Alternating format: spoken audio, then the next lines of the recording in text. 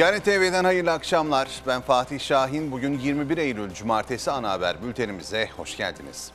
Sayın seyirciler, Cumhurbaşkanı Recep Tayyip Erdoğan New York'ta düzenlenecek Birleşmiş Milletler 74. Genel Kurulu görüşmelerine katılmak üzere Amerika Birleşik Devletleri'ne gitti. Erdoğan yolculuk öncesinde gazetecilerin sorularını yanıtladı. Erdoğan, Fırat'ın doğusundaki güvenli bölge konusunda sınır boylarında bütün hazırlıklarımız tamamlanmış vaziyette dedi.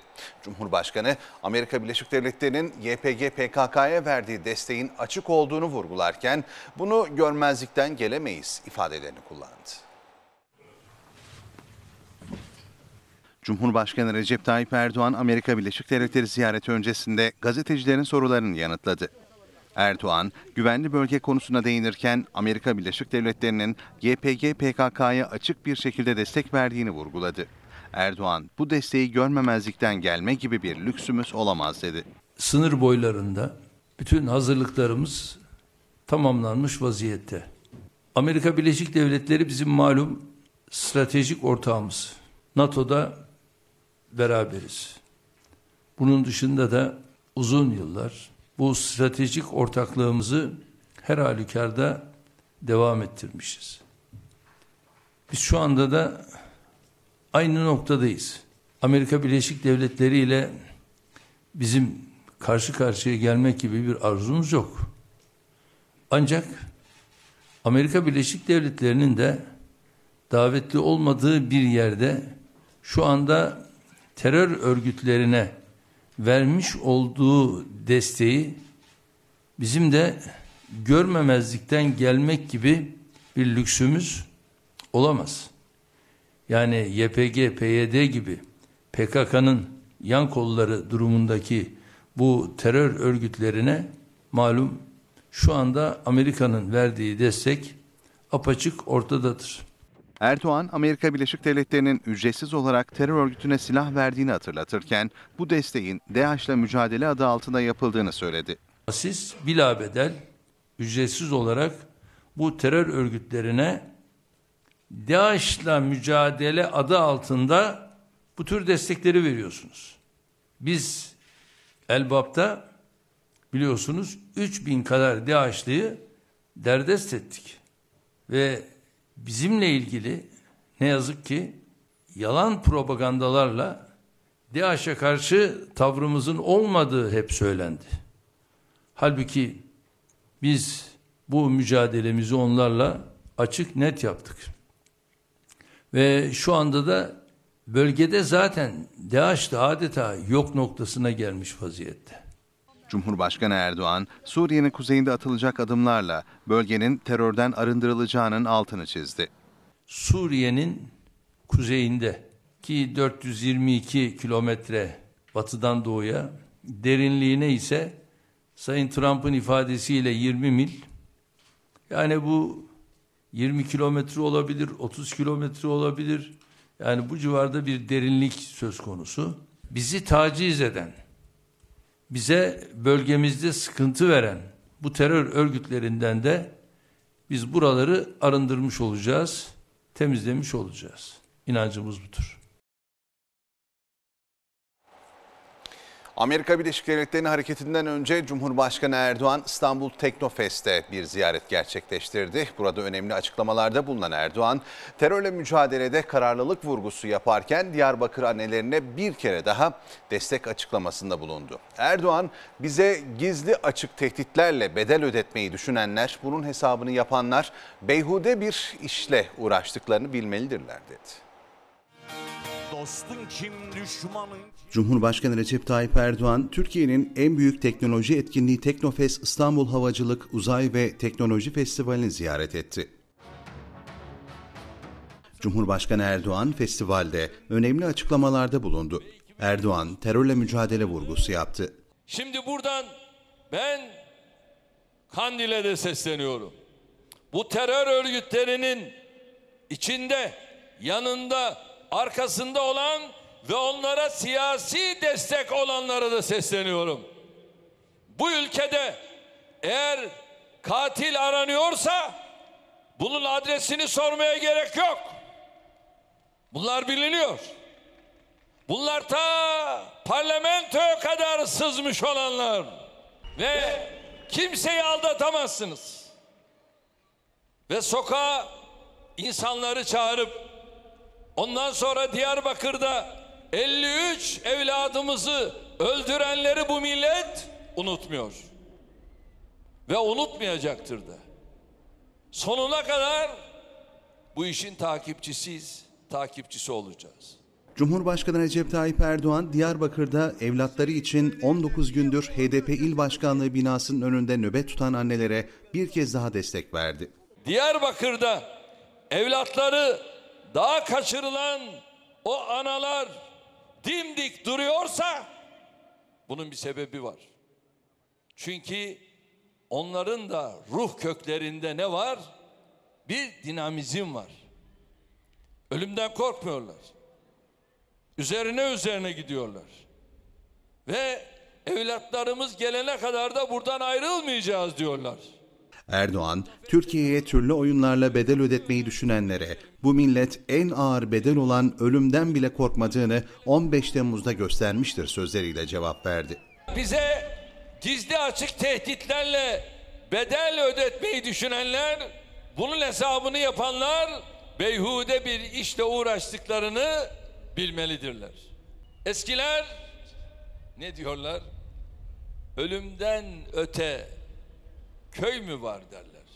Bu millet en ağır bedel olan ölümden bile korkmadığını 15 Temmuz'da göstermiştir. Öte yandan Cumhurbaşkanı Erdoğan beraberindekilerle Akıncı Siha'yı ziyaret etti. Erdoğan Akıncı Siha'ya imza attı. Festival kapsamında gerçekleştirilen Solo Türk'ün gösteri uçuşunu da izledi. Dosta güven, düşmana korku salan, göklerin çelik kanatlarıyız.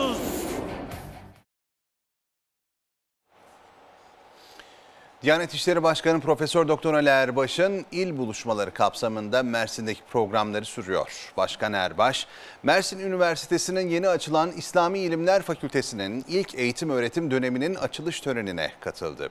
Gençlere seslenen Erbaş, üniversitelerin varlık sebebi hangi alanda olursa olsun nitelikli insan yetiştirmektir dedi.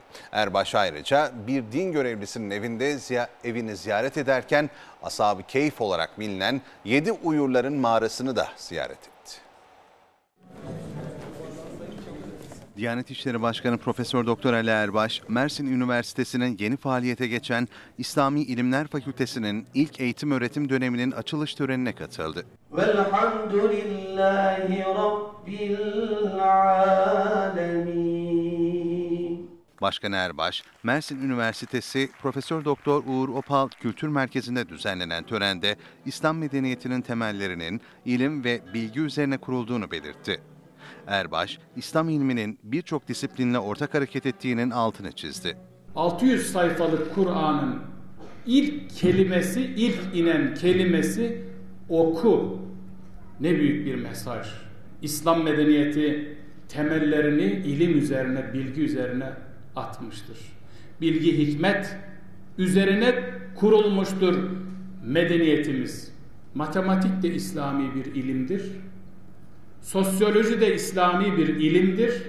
Psikoloji de İslami bir ilimdir. Astronomi de İslami bir ilimdir. Felsefe de İslami bir ilimdir. Tıpkı tefsir, hadis, fıkıh, kelam gibi. Yeni açılan İslami İlimler Fakültesi'nin önemli kazanımlar sağlayacağını ifade eden Başkan Erbaş, öğrencileri okudukları fakültelerin haricinde farklı fakültelerden seçmeli dersler alarak kendilerini çok yönlü yetiştirmelerini tavsiye etti. Sağlam temeller üzerine atılan fakülte çok iyi öğrenciler yetiştirir. Bizim buna ihtiyacımız var. Nitelikli insana ihtiyacımız var. Üniversitelerin zaten varlık sebebi bu. Nitelikli insan yetiştirmek. Mezun olduktan sonra işimizi iyi yapmaya çalışalım. En iyi öğretmen, en iyi müdür, diğer e, birimler açısından yani hepsinin en iyisi olmak lazım. Şimdiden hedefimizi böyle koyalım. Öte yandan Başkan Erbaş, Mersin'de görev yapan din görevlilerini temsilen Yeni Pazar Camii İmam Hatibi Ahmet Buğtekin'i de evinde ziyaret etti.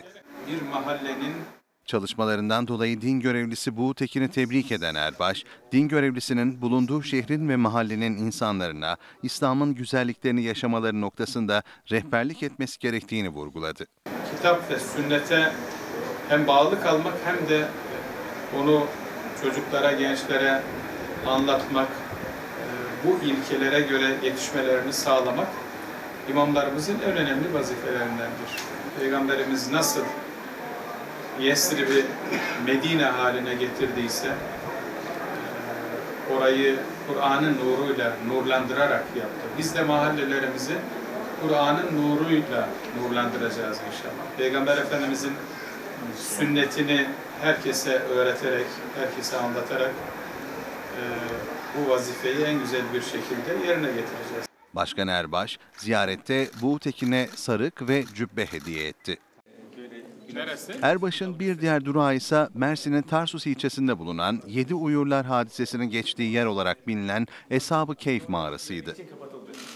Kur'an-ı Kerim'de Keyf suresinde sözü edilen Yedi Uyurlar hadisesinin geçtiği mağarayı ziyaret eden Erbaş, görevlilerden bilgi aldı. Sayın seyirciler, 7 kıtada insanlığın hizmetinde çalışmalarını sürdüren Türkiye Diyanet Vakfı, Suriyeli mazlumlara da büyük destek veriyor. Türkiye Diyanet Vakfı bölgede yıllardır yardım faaliyetleri başta olmak üzere çeşitli çalışmalar yapıyor. İşte bu çalışmaları şu anda bölgede yerinde inceleyen Türkiye Diyanet Vakfı Genel Müdürü Sayın Mehmet Savaş Polat telefon attığımızda. Sayın Polat merhaba. Merhabalar, iyi akşamlar. Hoş iyi yayınlar. geldiniz yayınımıza. Çok teşekkürler. Öncelikle hangi bölgelerde ne gibi faaliyet yürütüyor? Türkiye Diyanet Vakfı Suriye'de neler söylemek istersiniz? Ee, Türkiye Diyanet Vakfımız e, Fırat Kalkanı bölgesinde ve Zeytin Dalı bölgesinde e, çok yoğun faaliyetler, kapsamlı çalışmalar yürütmekte. Vakfımızın bütün ha- e, faaliyet alanlarıyla ilgili e, faaliyetler bu bölgede de yürütülmekte. E, Kurban ve Ramazan faaliyetleri dışında bölgede rutin olarak süre gelen, yıl boyunca devam ettirilen eğitim e, faaliyetleri e, ve takım gıda yardımı faaliyetleri, sıcak yemek, e, ekmek dağıtım faaliyetleri devam etmekte. Aynı zamanda lojistik merkezlerimizden bölgedeki kardeşlerimizin ihtiyaçlarına yönelik e, her türlü e, yardım e, yapılmakta. E, hijyen e, paketleri, e, bir takım temizlik maddelerinin dağıtımı, adak akika kurbanlarının e, dağıtımları, aynı zamanda e, irşat faaliyetleri e, başkanlığımızla birlikte yürütülen çok e, kapsamlı çalışmalar. Bütün bunların yanı sıra aynı zamanda e, cami inşai faaliyetleri e, devam etmekte.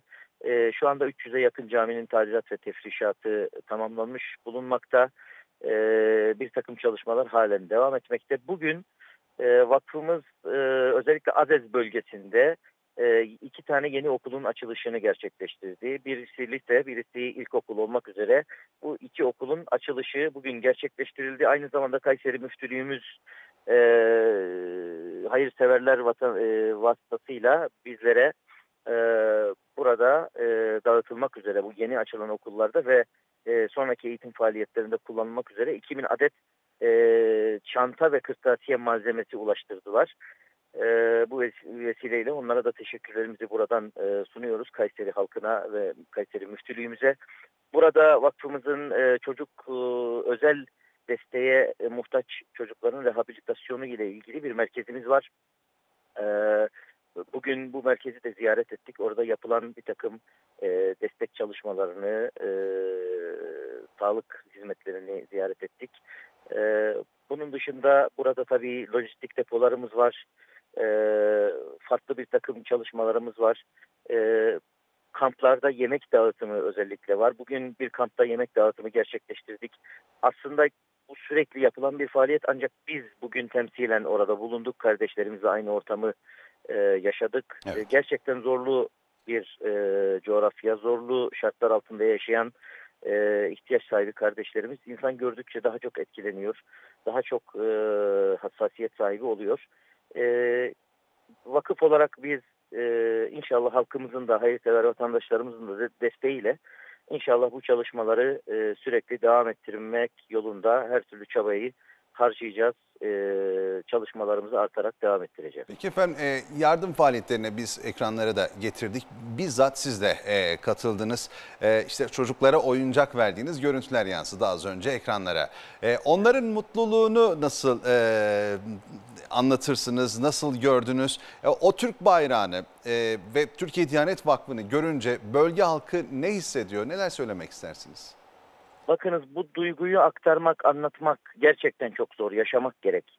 Ee, bugün e, özellikle bu Bursa'ya dağının eteklerinde kurulmuş olan bir kamp merkezinde yemek dağıttık. O çocukların belki daha sonra size aktarılacaktır bu görüntüler. O çocukların e, ellerindeki e, eğri büğrü kırık dökük kaplarıyla gelip yemek almaları gerçekten insanın içini e, e, yaralıyor, e, gönlünü kanatıyor.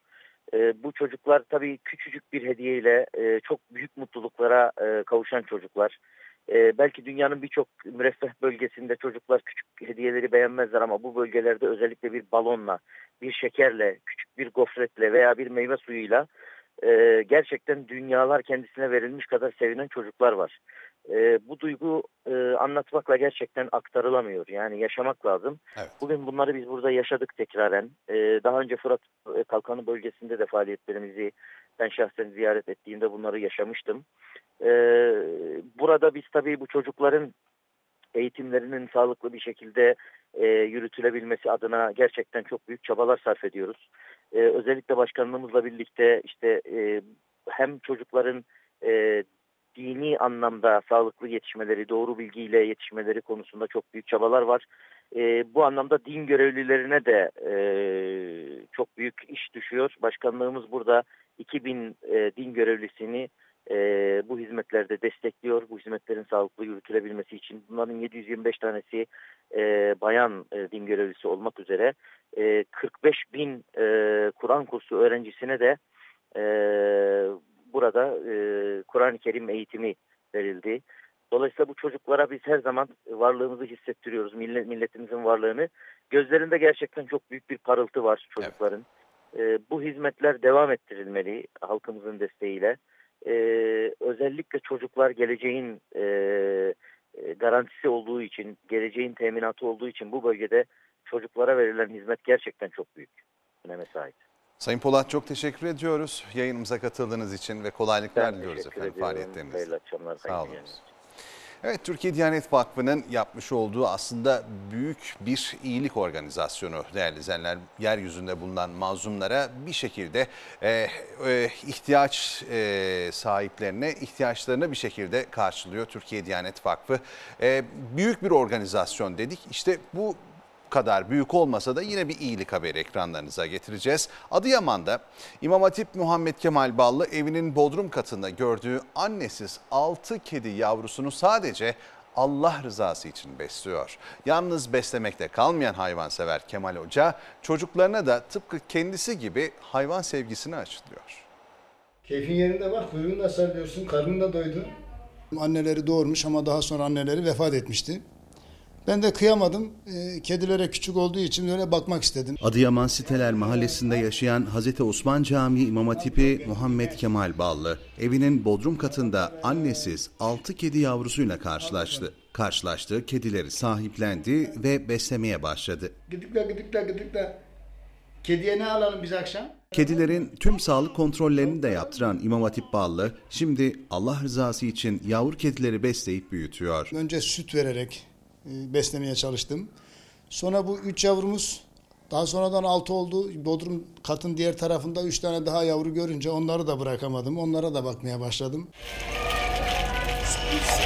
İmam Hatip Kemal Ballı, yavrular için her gün kasaptan et bile alıyor. Kasaplardan bazı et kırıntıları, kemikler ve özellikle de ciğer, tavuk ciğeri almaya başladım. Şimdi gün içerisinde hemen hemen her gün iki paket veya üç paket duruma göre kedi ciğer, işte kedilere tavuk ciğeri alıyorum. Tamam böyle sevelim. Ballı, kedilerin kendisine zamanla can yoldaşı olacağını söylüyor. Artık bırakamıyoruz da, vazgeçemiyoruz da. Böyle artık bize can yoldaş olmaya başladılar. Ee, Bizimle beraber yaşıyorlar. Hadi bakalım. Hadi. Sıra sende. Gel bakalım. Günün diğer gelişmelerinden derlediğimiz kısa kısa haber turumuzla ana haber bültenimiz devam ediyor. İçişleri Bakanlığı'ndan Türkiye genelinde 29.569 personelin görev aldığı aranan şahıslar operasyonunda 7.495 ayrı adreste arama yapıldı. Çeşitli suçlardan aranan 2.806 şüpheli yakalandı. Ayrıca operasyonlarda kayıp olarak aranan 7 çocuk ve 22 yetişkin de bulundu. Yapılan aramalarda bir uzun namlulu silah, 5 ruhsatsız tabanca, 12 av tüfeği, 447 mermi, 7 kuru sıkı tabanca, 24 gram eroin, 52 kök kenevir ve 498 gram esrar ele geçirildi. Irak'ın kuzeyindeki Gara bölgesinde tespit edilen bölücü terör örgütü mensubu iki terörist hava harekatıyla etkisiz hale getirildi. Adana'da terör örgütü DAEŞ üyesi oldukları iddiasıyla uyuyan hücre evinde gözaltına alınan 3 Suriyeli sınır dışı edildi. İzmir'de terör örgütü DAEŞ adına infazlar gerçekleştirdiği ileri sürülen ve yasa dışı yollarla Türkiye'ye giriş yaptığı belirlenen bir şüpheli tutuklandı. Çocuklarının daha kaçırıldığı iddiasıyla 3 Eylül'de HDP Diyarbakır İl Başkanlığı önüne gelen ailelerin başlattığı oturma eylemi 19. gününe girdi. Ailelere gün geçtikçe yenileri ekleniyor. 44 aile ile devam eden oturma eylemine katılan kaçırılan çocukların yakınları çocuklarının PKK tarafından serbest bırakılmasını bir kez daha yineledi. Hiç kimse kalmasa bile ben kalacağım. Sonuna kadar buradayım. Mısır'da müteahhit ve sanatçı Muhammed Ali'nin günlerdir sosyal medya üzerinden yaptığı çağrılar sonucunda akşam saatlerinden itibaren başkent Kahire olmak üzere birçok kentte Cumhurbaşkanı Sisi karşıtı gösteriler düzenlenmeye başlandı. 300 civarında eylemci 25 Ocak Mısır devriminin simgesi haline gelen başkent Kahire'deki Tahrir Meydanı'na kısa bir süreliğine girerek yönetim aleyhinde slogan attı. Türkiye'nin en büyük teknoloji etkinliği Teknofest İstanbul Havacılık Uzay ve Teknoloji Festivali 5. gününde misafirlerini ağırlamaya devam ediyor. Ülkenin önemli kurum ve firmalarının destekleriyle Atatürk Havalimanı'nda düzenlenen festivaldeki askeri ve sivil katılımcı firmaların standları 5. günde de birçok etkinliğe sahne oldu. Çocuklar ve gençler hem eğiten hem de eğlendiren atölye çalışmalarına da katılma fırsatı buluyor. Festival yarın sona erecek. Ve böylelikle bugünkü birlikteliğimizi de burada noktalıyoruz. Huzurlu bir akşam geçirmeniz dileğiyle. Hoşçakalın efendim.